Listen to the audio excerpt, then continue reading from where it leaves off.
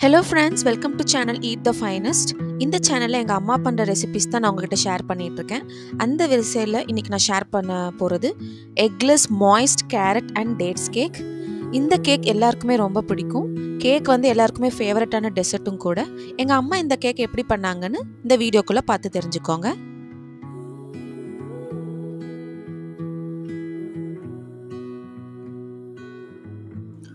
So first caramel ready பண்ணாங்க. அதுக்கு ஒரு பேனில் ஹாஃப் கப் சுகர் ஆட் பண்ணாங்க.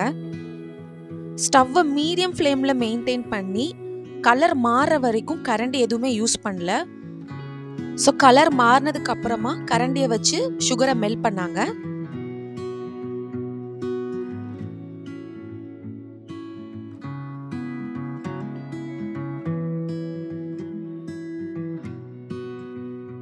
ஸோ ஜீனியை கரைக்கிறதுக்கு லோ ஃப்ளேமே மெயின்டைன் பண்ணுங்க. இல்லைனா மீடியம் ஃப்ளேமோ ஹை ஃப்ளேமோ வச்சோம்னா கலர் ரொம்ப மாறி கசப்பு தந்துடும் ஸோ இந்த ஸ்டேஜில் கேரமல் கலர் மாதிரி வந்துருச்சு. இப்போ அரை கப் தண்ணி ஆட் பண்ணிக்கோங்க.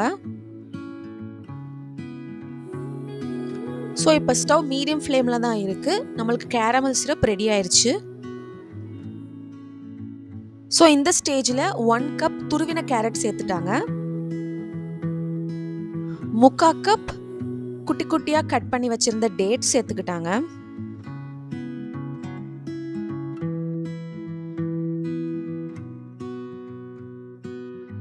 ஸோ இது எல்லாமே மிக்ஸ் பண்ணி நல்லா கெட்டியாகிற வரைக்கும் ஸ்டவ் வந்து மீடியம் ஃப்ளேமில் தான் மெயின்டைன் பண்ணாங்க.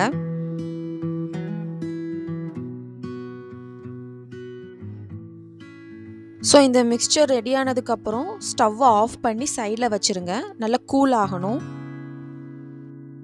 ஸோ மீன்வைல் ஒரு மிக்சிங் பவுலில் கெட்டியான தயிர் அரை கப் ஆட் பண்ணாங்க. அப்புறமா ரீஃபைண்ட் ஆயில் அரை கப் ஆட் பண்ணாங்க. இது வந்து ஃப்ரெஷ்ஷான ரீஃபைண்ட் ஆயிலாக இருக்கணுங்க. ஏற்கனவே யூஸ் பண்ண ரீஃபைண்ட் ஆயில் இருக்க வேண்டாம். ஸ்மெல் வரும். கேக்கில். அதுக்கப்புறமா ப்ரௌன் சுகர் அரை கப் நாட்டு சக்கரை. ஸோ அந்த ப்ரௌன் சுகர் நல்லா கரையிறதுக்கு நல்லா மிக்ஸ் பண்ணிக்கிட்டாங்க.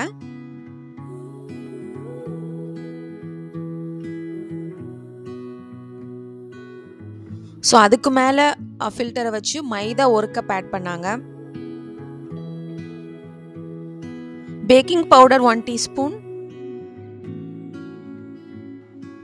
baking soda half a teaspoon cinnamon powder ஒரு கா டீஸ்பூன் அதாவது பட்டை பவுடர் நம்ம வீட்டிலேயே செஞ்சுக்கலாம். பட்டையை நம்ம காய வச்சு அரைச்சோம்னா பட்டை பவுடர் ரெடி அப்புறம் ட்ரை ஜிஞ்சர் பவுடர் சுக்கு பொடி ஒரு கா டீஸ்பூன் இதெல்லாமே ஃப்ளேவர் தரதுக்கு தான் ஸோ கட்டி எதுவும் இல்லாமல் நல்லா விஸ்க வச்சு நல்லா பிளெண்ட் பண்ணிக்கோங்க. ஸோ இந்த கேக்குக்குரிய எல்லா இன்க்ரீடியன்ஸோட இன்ஃபர்மேஷன் நான் கீழே டிஸ்கிரிப்ஷன் பாக்ஸில் கொடுத்துருக்கேன். பார்த்து செக் பண்ணிக்கோங்க.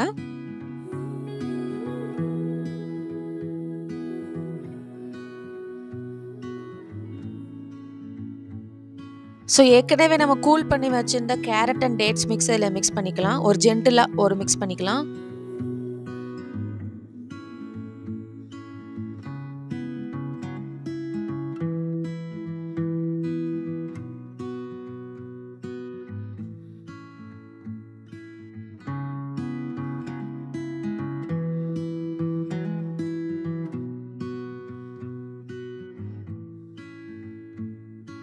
ஸோ நான் இப்போ இந்த மாதிரி ஒரு கேக் மோல்டு எடுத்துக்கிட்டாங்க அம்மா. இதில் பிரெட் கூட பண்ணுவாங்க.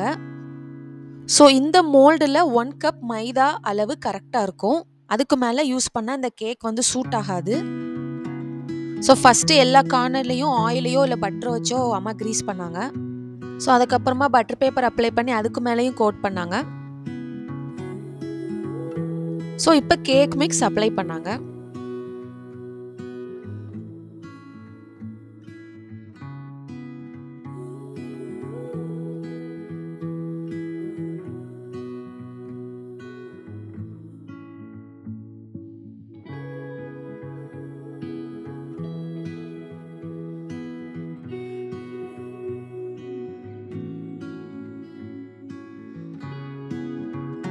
ஸோ நல்ல நம்ம கேக் தட்டி கொடுத்து டேப் பண்ணோம்னா எந்த பபிள்ஸும் வராது. கேக் ஆனதுக்கப்புறமா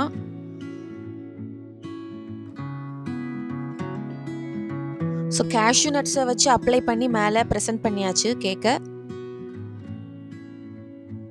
ஸோ அந்த கேக் பண்ணுறதுக்கு மைக்ரோவேவ் அவனோ இல்லை ஓடிஜி அவனோ அம்மா யூஸ் பண்ணல. சாண்ட் அவன் தான் யூஸ் பண்ணாங்க. ஸோ ஒரு பெரிய கடாயில் கொஞ்சோண்டு மண் எடுத்து அது ஒரு ten to fifteen minutes preheat பண்ணாங்க மீடியம் ஃப்ளேமில் ஸோ பத்து பதினஞ்சு நிமிஷம் ப்ரீ ஹீட்டிங் ரொம்ப அவசியம். அப்போ தான் நம்மளுக்கு டைம் எஃபிஷியண்ட்டாக இருக்கும் கேக் பண்ணுறதுக்கு ஸோ பேக்கிங் டைம் வந்து thirty five to forty minutes in low flame preheating நம்ம ten to fifteen minutes medium ஃப்ளேமில் பண்ணோம். ஸோ இந்த மண் நம்ம யூஸ் பண்ணதுக்கு அப்புறமா நம்ம ரிப்பீட்டடாக எத்தனை டைம்னாலும் யூஸ் பண்ணிக்கலாம். வருஷ கணக்கில் கூட யூஸ் பண்ணிக்கலாம். மண் இல்லைன்னா உப்பு கூட யூஸ் பண்ணுவாங்க. உங்கள் இஷ்டந்தான் அது. ஸோ டூத் பிக்கை வச்சு செக் பண்ணும்போது கேக் ஒட்டலை. நம்மளுக்கு கேக் ரெடி ஆயிடுச்சு ஸோ கொஞ்சம் சூடாக இருக்கிறதுனால உடனே கட் பண்ணால் கேக் வராது நம்மளுக்கு. கொஞ்சம் டவலை வச்சு ஒரு அஞ்சு நிமிஷம் மூடி அதுக்கப்புறம் எடுத்தோன்னா ஈஸியாக ஒட்டாமல் வரும்.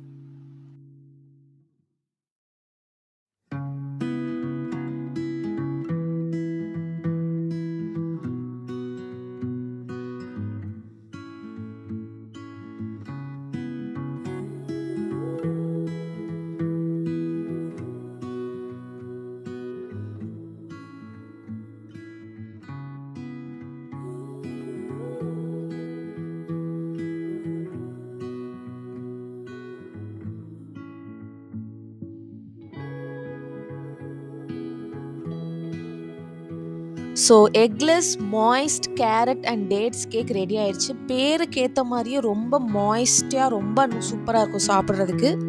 ஸோ சில்ட்ரன்ஸ்க்கு எல்லாருக்குமே ரொம்ப பிடிக்கும்.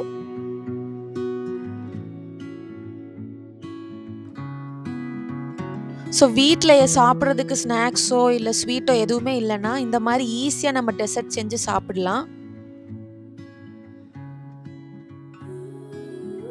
ஸோ கண்டிப்பாக இந்த மாதிரி ரெசிபி ட்ரை பண்ணுங்கள் இனி அடுத்தடுத்த வீடியோஸில் எங்கள் அம்மா பண்ணுற ரெசிபிஸோடு நம்ம மீட் பண்ணலாம். அது வரைக்கும் தேங்க்ஸ் ஃபார் வாட்சிங் கீப் சப்ஸ்கிரைபிங் மை சேனல்